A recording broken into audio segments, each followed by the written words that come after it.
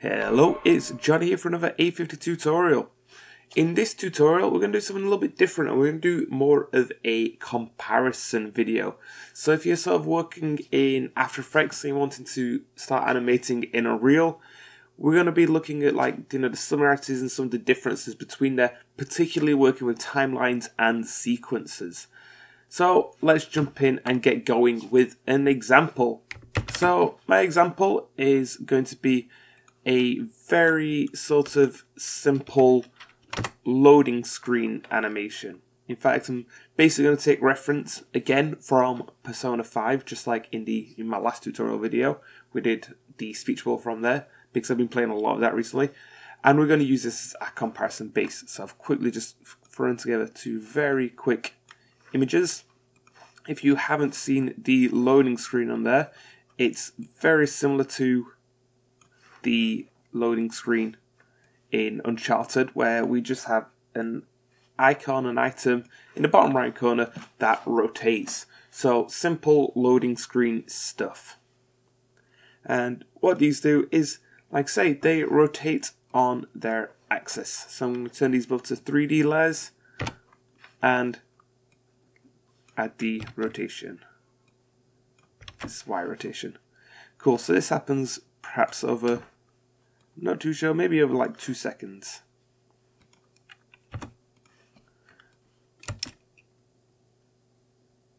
Like that. And the same thing for this one.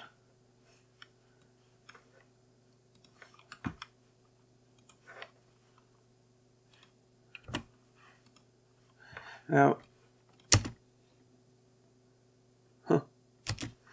seeing as we're emulating, we're going to want to do things a little bit similar and the text actually starts a little bit before the face, a little bit after the face, sorry. And the first rotation is a bit bigger as well. Yep, yep, yep, cool.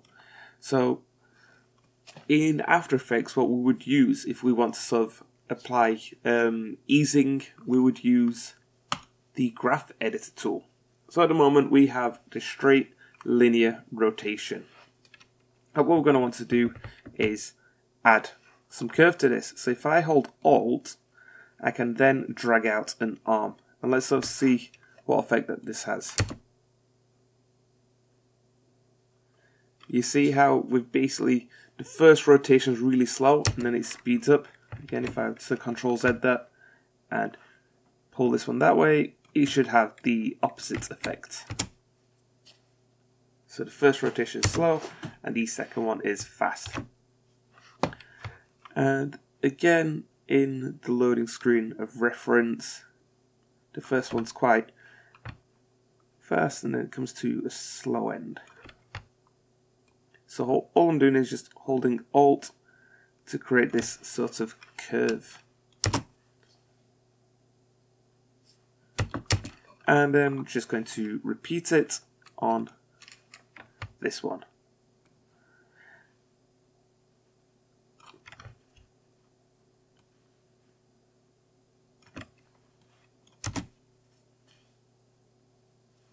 Cool. So, I mean, choosing how you're going to work is really going to come down to your own preference when it comes to animating in these various software. I'm very familiar with After Effects. I've been using it for years, a lot longer than I've been using Unreal, but each one has pros and cons. In the Uncharted 4 loading screen, we have the rotating, like, say, ring. I think that that's Uncharted 3. We have the ring that rotates, and that's a 3D object. That would be really difficult to create in After Effects because After Effects it's pretty much rubbish with 3D. We'd have to create a Cinema 4D project, mess about with it in there, import the Cinema 4D project into here, rotate in there, and then that's just use of other software. Whereas in After Effects, do you know, I mean, in a real sorry, we'd be able to just straight up import that image and then just have that rotating on a timeline. Okay, so let's jump across to Unreal and try repeating those steps in there. So here I'm just create a quick blank template level so we can try out the effects and I'm just going to import them. Cool, so imported these.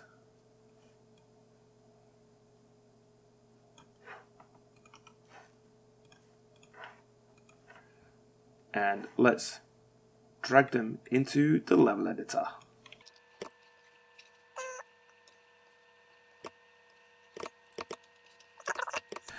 Just gonna put it out of here, of the way, out of the way of the rest of the stuff.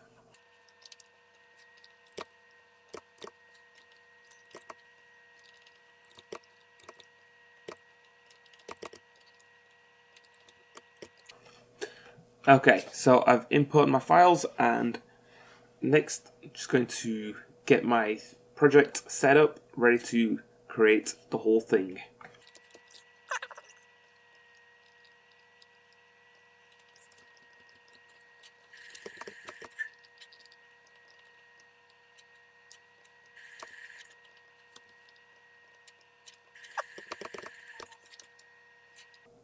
Alright, let's open up cinematics and add a level sequence.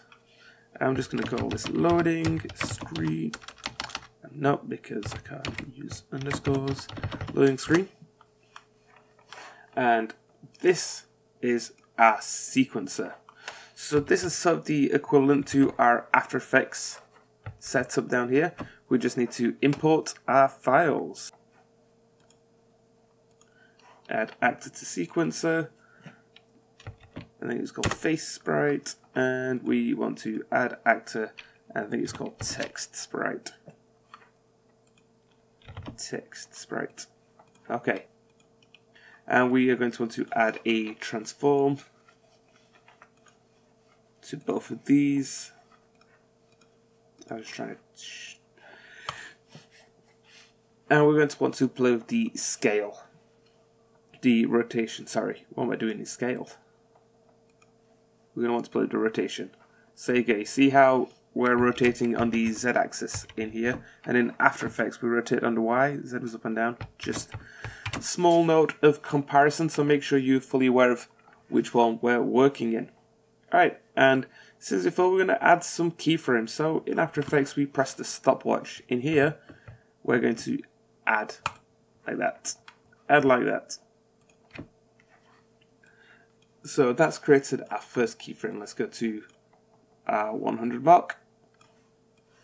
And let's create, let's rotate.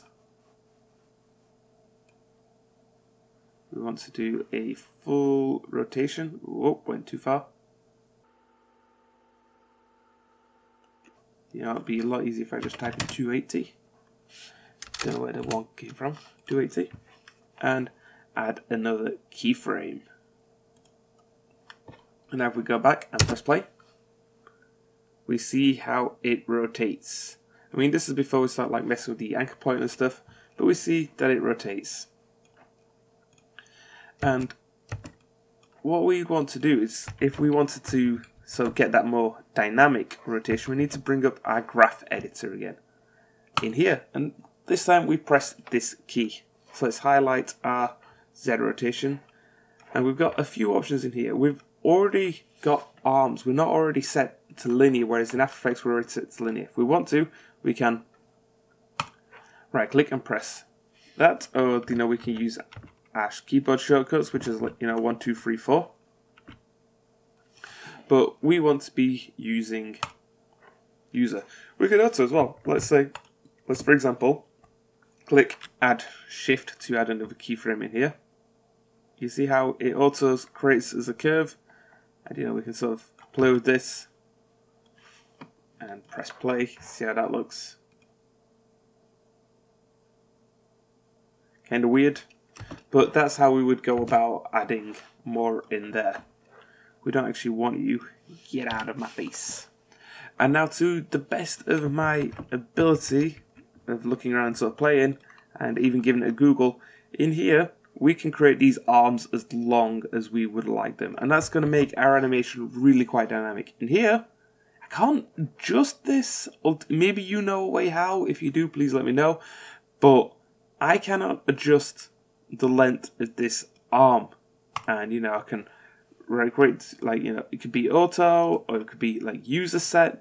But how do I adjust this arm? It annoys the hell out of me. So instead what I've got to do is add more points, but you know, so tweak them to create that path, create that shape. So I mean, because we want the first part to be, you know, the slow build up. It means we've got to mess about sort of creating almost lots of these points to get the velocity.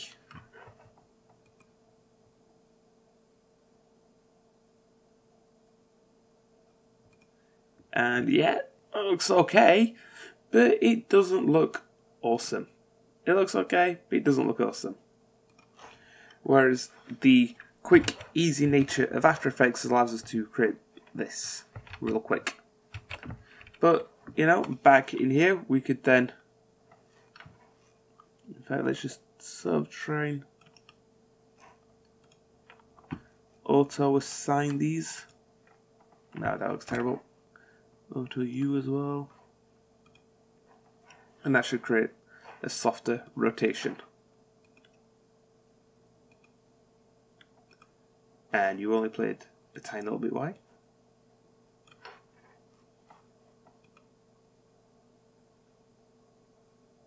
So yeah, so there we go. We've added that. Let's take this information. Let's go across to our rotation here. And what we could do is in After Effects again, we can sort of copy all of our keyframes. Let's see if we can do the same in here. So Control C, highlight all, sorry, Control C, go across to our Z scale and press Control V. Nothing. Didn't seem to work. Whereas again in After Effects, it makes the whole process a lot faster. We could just highlight this, let me exit my graph.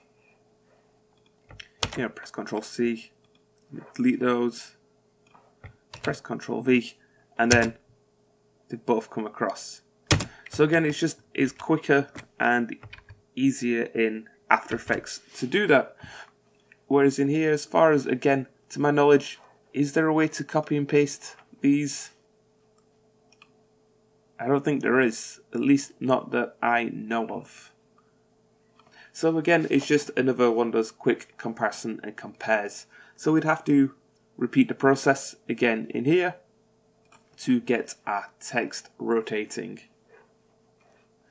And those are sort of like the core bare essentials. Like I said, the whole exercise that we're doing right now was just to create a comparison.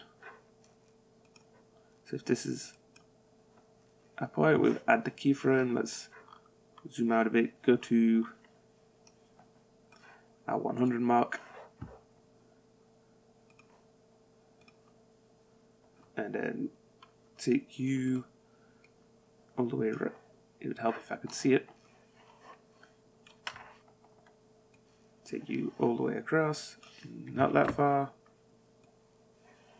This one.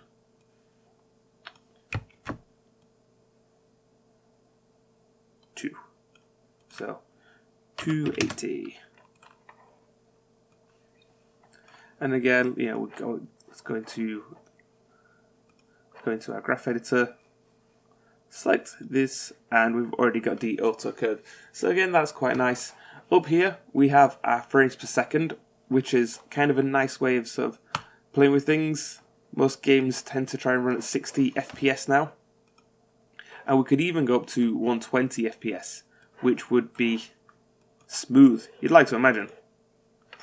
That would be smooth. Anyway, let's press play and find out. And Let's rewind it and press play and find out. And it did nothing. Why did you suddenly decide to do nothing? Maybe because I was in simulate.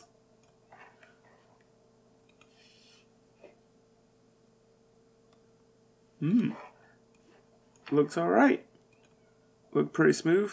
And that's at 120. If we were in After Effects, and we press Ctrl K to bring up our settings, we can only go to a max of 60 FPS. So if you're creating like VR content and you need that minimum 90, you're going to want to create this in Unreal and not bring it across After Effects. So there you go, good points there.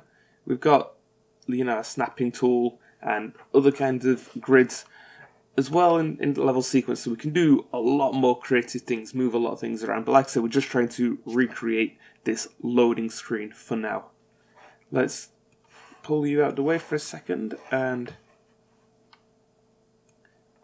find our what did I call it? Ah, if only I remember what I called it.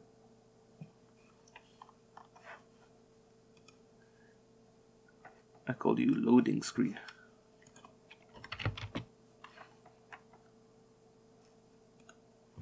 So we go, we've got a loading screen, set you to autoplay and loop indefinitely.